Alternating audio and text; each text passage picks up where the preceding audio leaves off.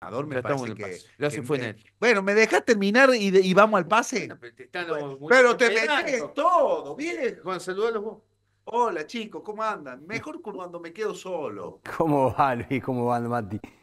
Pero, pero me, me interesaba porque estabas hablando y estábamos justo al aire, obviamente, de esto de si se va Riboneto, quién vendría, quién podría ser o qué sería, ¿viste? Como que siempre estamos con que el que venga va a ser mejor que el que se fue. Eh, era interesante. Pero ¿sabe, ¿sabe por qué lo planteaba yo, Diego? Sí. Y por qué aclaré. Porque a mí me parece que lo más importante de los momentos, y Mati dio el ejemplo justo, de, por ejemplo, eh, Gallardo en River. ¿Qué es lo que logra el dirigente? Yo, por ejemplo, en River Estudiantes aquí en Córdoba no podía creer en la forma que lo puteaban Sí, pero- a De Micheli. Pero Luis Gallardo, Ga-. Gallardo lo mejor que logró fue la cantidad de refuerzos que le trajeron. Sí, claro.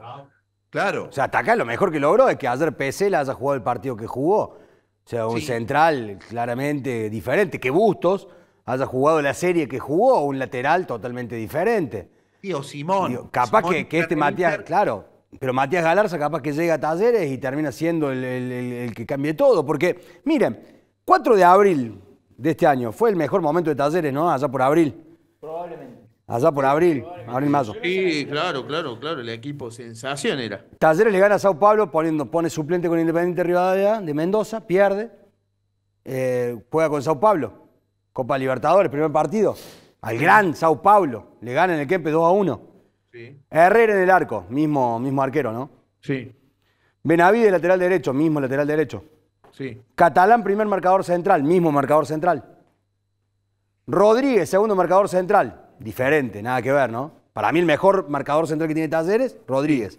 Que tenía que jugar Adler, pero dale. que tenía que jugar ayer, pero Rodríguez, ¿qué? Por cuestión dirigencial, no cuestión de, de técnico, no pasó a jugar, no pasó a jugar obviamente en lo que tiene que ver con los amistosos en Rusia, porque no fue a la pretemporada. Sí, sí, no se lo permitían parado. utilizar a Riboneto, Matías. ¿eh? No se lo permitían utilizar a Riboneto. Entonces Riboneto lo, lo empieza a utilizar ahora, muy de repente. Bueno, Rodríguez no está. Navarro, lateral izquierdo. Blas Rivero, Navarro fue expulsado, por eso no jugó, ¿no? Dos, dos expulsiones. Ahí llevamos tres iguales, dos diferentes. Ortegoza, no jugó, ayer entró en el segundo tiempo, no fue titular No porque el nivel de Ortegoza es mucho menor, pero no era el mismo. Portilla, sí jugó, Juan eh, Camilo Portilla. Marcos Portillo, ayer no jugó, por lesión, por lo que fuera, no jugó. Bota, muy poquito, casi no ingresó porque recién vino una lesión. Girotti, suplente porque viene en un momento complicado, o lo que no sé qué pasó en el medio. Sí. Sosa. Yo veo un equipo totalmente diferente y entonces ahí es donde le doy la derecha al técnico, de decir, che, no tiene, no tiene argumento. Ayer jugó Tarragona, que es suplente en San Lorenzo hasta hace dos meses, y jugó Palacio, que viene del fútbol griego, chicos. Sí, sí, que- y que venía para, eh, y, y lo, esto lo dijo el técnico no hace mucho, estamos hablando de hace dos conferencias, él dijo, Palacio está para 20 minutos. Exacto. Vamos a seguir dando fútbol. Dio la Exacto. sensación que ayer, bueno, ayer me gustó Palacio, pero Jugó muy buen primer tiempo. es un jugador que viene en un proceso. Yo, yo, Diego, en esto, y lo dije en Futbolémico, por eso tengo la obligación de repetirlo, puede que tengas razón, pero digo, Palacios, en comparación a muchos jugadores que fueron titulares muchos partidos, y no quiero dar el nombre, yo creo que todos lo saben, eh, es mucho más, ¿eh?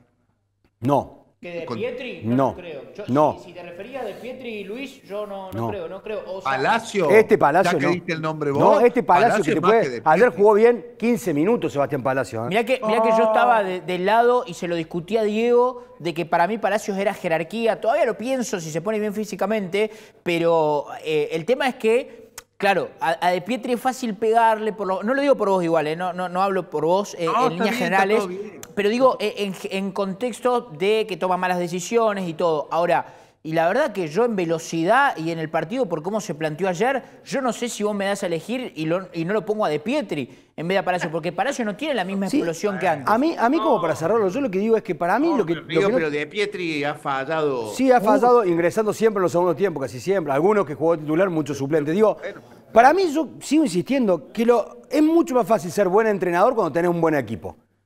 Mucho más fácil, ¿no? Después vos vas potenciando. Pero digo, el taller de Alexander Medina, que juega cuarto de final de la Copa Libertadores, que está a un paso de meterse a semifinales, tenía un equipazo. Con El- Vélez, ¿no?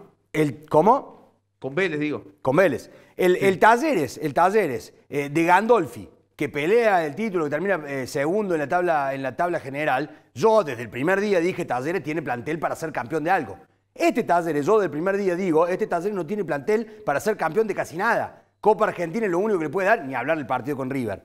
Porque el plantel, te das cuenta que dependía mucho de Sosa y de Bota, y nosotros lo dijimos un montón de veces, y un montón de veces dijimos, che, Talleres son 11 jugadores, no hay más de 11. Y esos 11 hoy no están. Sí, y todos los planteles igual en el fútbol argentino y en el fútbol mundial se resienten si dos de tus máximas figuras se te van. Y si te toman lectura, Ortegoza no juega porque le tomaron lectura del juego jugando de 5. Sí, yo creo que ha bajado mucho su nivel después de la lesión, independientemente que le hayan tomado lectura y de que vos no reemplazaste a Sosa y eh, tuviste encima la mala suerte, porque esto es mala suerte, de que tu mejor jugador, sacando a Sosa, no pueda estar en la serie, porque ayer los 20 minutos que entró, me parece que quedó eh, claro que no podía jugar. Que no estaba ¿Dónde se lesionó? ¿Cuándo se lesionó Bota? ¿Con qué partido? Y, Bota hasta hace más de un mes afuera de la cancha. Yo eh, contra el, primer partido contra Vélez lo jugó de titular. El segundo partido, si no me equivoco, fue Defensa y Justicia y ahí creo... no, viste que generalmente el desgarro vos no tenés, o sea, ustedes saben, esto te lo dicen los médicos, la verdad, le pregunto a ellos nomás y reitero, el desgarro no, no hay una forma de vos decir, che, eh, esta es la, forma para que no te desgarres. Pero generalmente se habla mucho del entrenamiento. Sí. De una sobreexigencia. O que no está claro, o que no estuvo acorde. Porque lo de Rusia, sigo, sigo insistiendo, tuvo mucho que ver con la merma de, futbolística de Talleres. ¿eh? Nosotros podemos decir lo que quieran, pero esos tres partidos, que institucionalmente fue lo más importante de todo, esos tres partidos, una semana, que lo dijo Martínez con ustedes, o, en conferencia, que Martínez dijo, conferencia, sí. Eh, no, casi no podíamos dormir porque, porque era siempre de día. Fue una temporada típica, dijo. Yo creo que empecé a encontrar respuesta en la merma. Ahora, esta merma es para que se lo lleve puesto el entrenador. Ahí es donde yo, la verdad, no, no, no, no, no termino de compartir. No, creo hoy, no creo hoy, por supuesto que esto es fútbol. Vos perdés tres partidos más y en, quedas al borde. Pero para mí, para mí la idea es tener los ribonetos hasta fin de año. Después de fin de año no lo veo yo. Yo no lo veo a Riboneto después de fin de año. Y jugadores que es sumar a Galarza, digo, porque está bien, nosotros le podemos pegar a Talleres que llegaron tarde los refuerzos, porque este Galarza va a llegar muy tarde. Llega Ojo, esto es fútbol, no, pará, porque no queda eso. No, está claro. fútbol bueno, todavía queda, todavía queda muchísimo, digo. Todavía pero queda mucho aparte, escucha. En el, en el camino. Por supuesto, aparte lo de Galarza. Mesa se bajó del avión, entró en River y la rompe. ¿Se acuerdan Guilherme Paredes? El primer partido venía del aeropuerto. Llegó un jueves, Julio. Sí, pero, pero yo en este de los primeros partidos de estos jugadores que llegan, yo a mí me gusta verlo de larga, porque tenemos en la otra vereda casos parecidos. Reina se bajó, llegó a Belgrano, el primer partido que jugó la rompió, después empezó a bajar en su nivel. Sí, pero River necesitaba esto, ¿eh? River necesitaba un tipo que te juegue y, te, pase a los cuartos de final. Yo, yo, le decía yo hoy fuera de cámara, digo, ¿no será que también el objetivo real, más que este River, por cómo se daba el mercado de pases, por la pretemporada que tenían y todo, el objetivo real va a ser octavos de final de Copa Argentina y por eso Talleres arma arma el equipo, porque Esquivel llegó hace tres días, ¿no? Arma el equipo el objetivo pensando nunca podía ser, chico, el objetivo nunca podía ser Copa Libertadores. Tú sabes que yo me quedo... Pero sí Copa Argentina, ¿no? Eh, sí, sí, Copa Argentina, sí. A lo mejor ni, ni eso. Eh, yo me quedo con lo que dijo Fassi en Buenos Aires. Y me parece que... Me parece que tiene su lado de razón, ¿no? Porque e, ellos que ejecutan, dice, en vez de analizar tantas cosas, ¿por qué no disfrutamos que estamos donde estamos? Porque es la otra cara de la moneda. Por más de que vos te refuerces bien, hagas una muy buena pretemporada y demás, podés competir con un equipo que vendió por 80 millones Luis, de dólares. Luis, si vos haces las cosas mejor, tenés más chances. Cuando Taller hizo las cosas muy bien, que fue con Gandolfi, clasificó sin pestañear a la Copa Libertadores y estuvo peleando el campeonato y peleó con Argentina. Diego. Acá no las hizo bien, Luis. Acá las hizo muy mal. Todo lo que podía hacer, todo lo que podía hacer para llegar mal, lo hizo todo, ¿eh? Desde Andrés Fassi, desde pelea con jugador, claro, pelea con un jugador ¿eh? como Sosa, todo. Eh, la pretemporada, los jugadores que llegan tarde, los refuerzos que llegan del fútbol eh, sudafricano, griego y ahora del fútbol, no sé de dónde viene Matías Galarza. de Bélgica del Genk.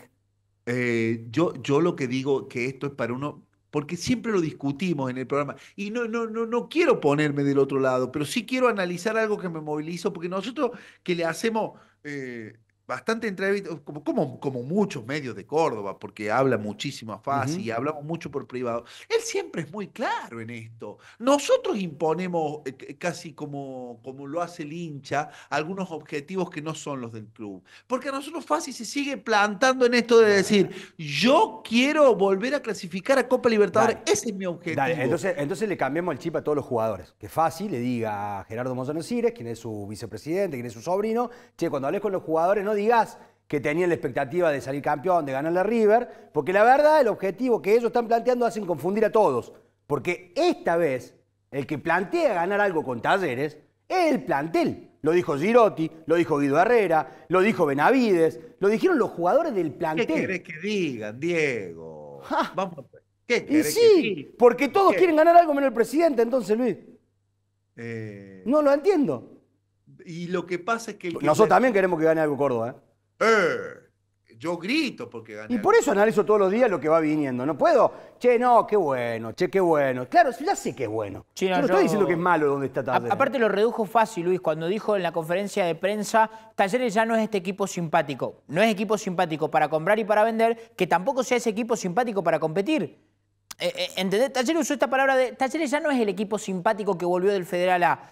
Bueno, eh, si no ser un equipo simpático significa que vos tenés que ser competitivo. Y ser competitivo significa aspirar.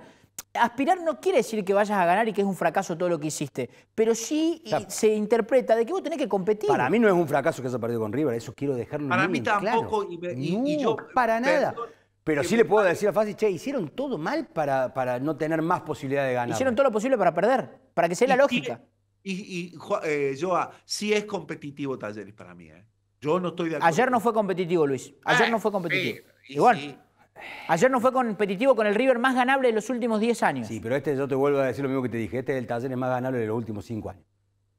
Este es el taller que no te da miedo. Este taller no te da miedo. El taller anterior te daba miedo. Y eso creo que el hincha lo va mirando y lo va viendo y por eso el hincha no le gusta lo que está pasando. Este taller no te da garantía, ni miedo, ni susto. No presiona, no ataca, no juega, no defiende, no... No, no, no hay más tiempo, así que nos vamos, ¿les parece, chicos?